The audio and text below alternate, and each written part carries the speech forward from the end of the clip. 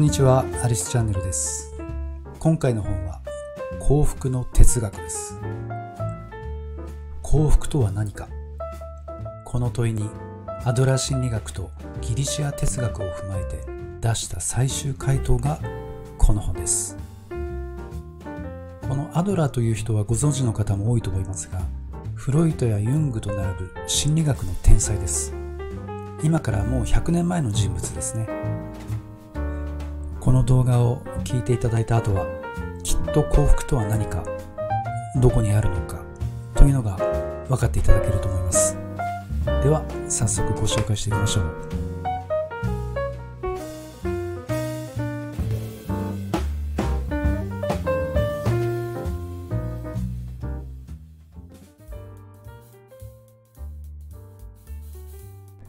まず幸福とは何かから本書は探っていきます。幸福とは成功や幸運とは違います。幸福とは何かを知らなければ、どうすれば幸福になれるかもわからないが、問題なのは幸福とは何かを定義することができないことです。では私たちは幸福について知らないかといえばそうではなく、私たちは幸福を知っているか、経験していてもそれが幸福と気づいていないのです。そう。幸福とは空気のようなもので、それが失われたとき、初めて幸福を経験するのです。アドラーは、あらゆる悩みは人間関係の悩みだと言っています。もしあなたが人間関係で悩みを抱えている場合、あなたの人生は生きるに値するのでしょうか？幸福、不幸について考えるときには、人生をどう見るかについて考えなければならない。アドラーは、人生それ自体に意味はない。人生の意味は、あなたが自分自身に与えるものだと言っています。いい大学に入り就職すれば幸福になれると思っている人がいる。そんな人に対して、その方法を教える人たちがいる。そのような知識を教える人は、幸福になる方法を教えているのではなく、成功への方法を教えているのであって、社会的地位やお金の面で成功したからといって幸福になるわけではない。成功は幸福を保証してくれないのです。親戚や家族に成功した人がいれば、あなたはそんな人のようになれと言われます。かくして何かになることが大切だと思い、今あるところにいてはいけなくて、どこかへ向かっていかなければならない。成功するには進んでいかなければならないが、幸福はすでにそこにあるのです。成功しても幸福でないこともあるし、成功していなくても幸福であることができる。もしあなたが成功することが幸福であると思っているのなら、それは人生の意味を考えるのを忘れてしまい、日々の生活に流されてしまっているのです。そして、その幸福は各個人固有のものであり、量で測れないものです。お金や社会的地位は目に見える量的なものです。お金を多く手に入れる可能性は誰にでもあるので、嫉妬の対象となりますが、幸福は固有のものなので、他の人の幸福と比べようがありません。あなたの幸福はあなただけのものです。このように幸福は固有のものであるものなので、幸福であるための条件というのは存在しません。そして、他人から幸福であると思われるかどうかは意味がありません。たとえ他人から幸福であると思われているとしても、あなたが幸福でないなら無意味です。あなたは幸福になるのではなく、幸福であるのです。そのことを理解できれば、成功を待たなくても日常の中に幸福を感じることができるでしょう。次になぜ幸福になれないのかという点に関して見ていきましょう。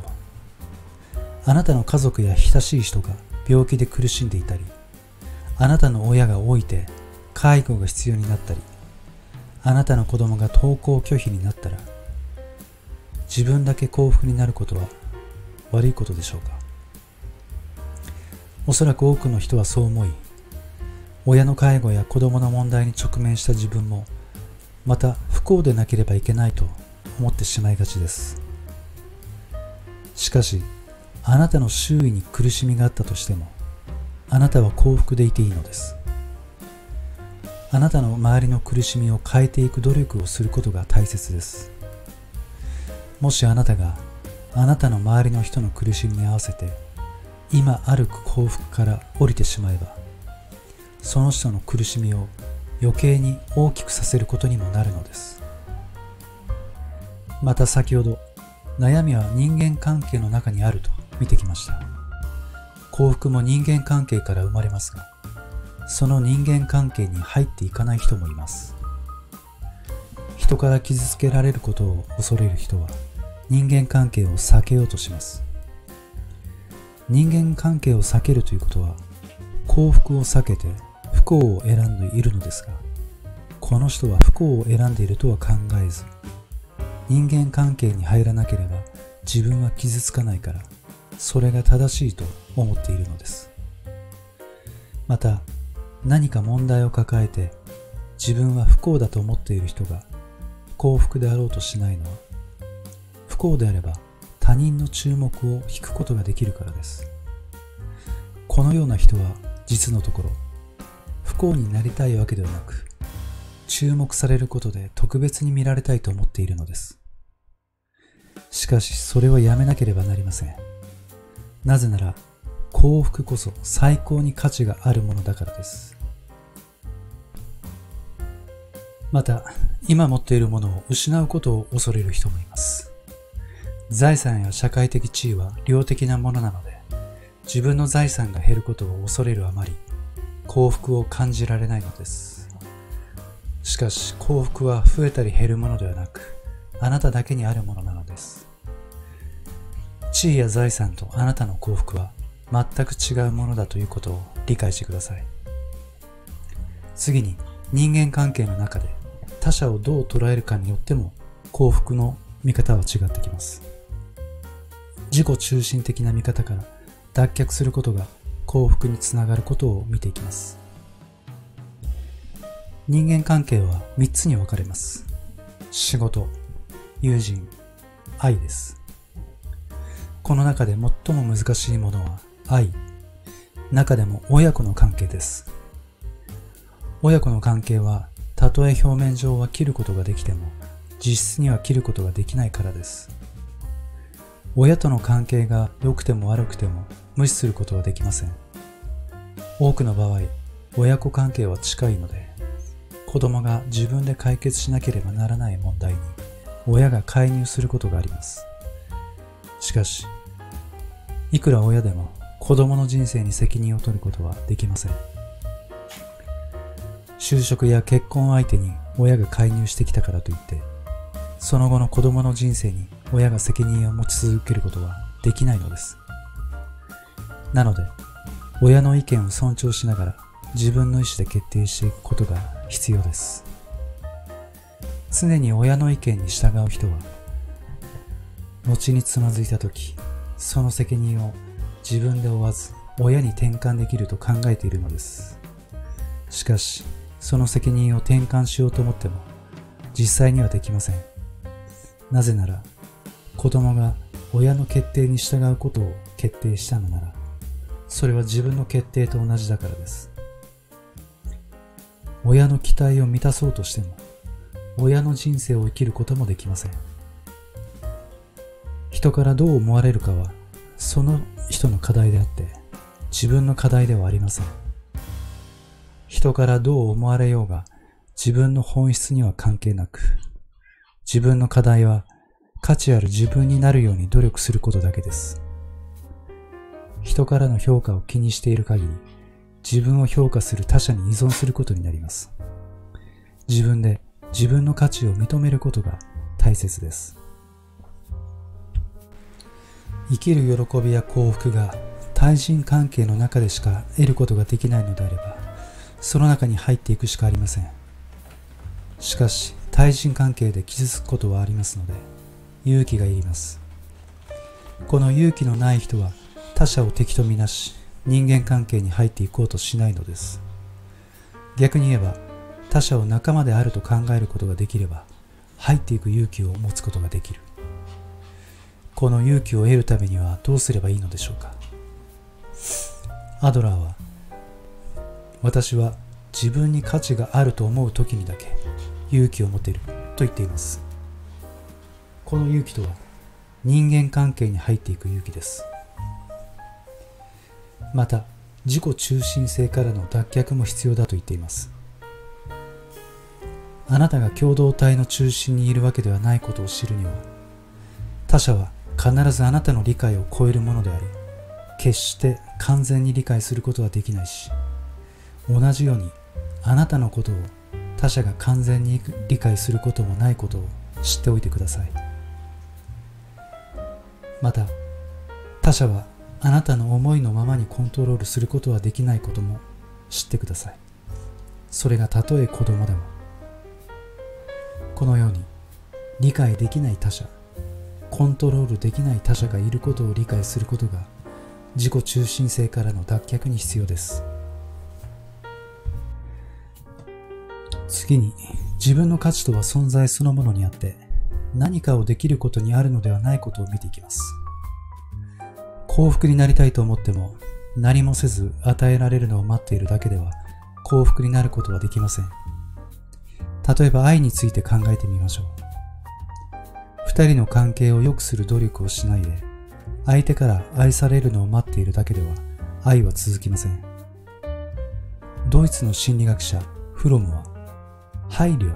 を愛の一つの要素としてこう言っています。もしある女性が花を好きだと言っても彼女が花に水を与えずに枯らしてしまったら私たちは花に対する彼女の愛を信じることはできないだろう。愛とは愛する者の命と成長を積極的に気にかけることである。積極的な配慮のないところに愛はない。愛の本質とは何かのために働くこと。何かを育てることにある。フロムは愛は常に変化しているので花に水を与えるような努力をして更新していく努力が必要だと言っています。またフロムは二つの基本的な存在様式である持つこととあることを区別してこう言っています。もしも私が私の持っているものであるとして、私が持っているものすべてが失われたら、その時私は何者なのか。しかし、私があるのなら、持っているものす、すべてを失っても、心配は必要ない。なぜなら、私とは持っているものではなく、あるものだから。幸福はあるものである幸福は失う心配はないと言っています。そして不完全である勇気を持ちましょう。人生ではできないことや習得しようとしてもうまくいかないこともたくさんあります。その時は自分が不完全であることを受け入れれば理想からの原点ではなく現実からの加点として見ることができます。今まで見てきたように人にどう思われるかにとらわれる必要もありません。あるがままの自分を受け入れれば人生は豊かになります。さて、自分に価値があると思えるために2つの方法があります。一つは短所を長所に置き換えることです。例えば、あなたが性格が暗く、引っ込み思案な自分を何とかしたいと思っているとします。この場合、人を傷つけようとしないでおこうとするあなたは引っ込み思案ではなく優しいのです。自分の短所を長所に置き換えると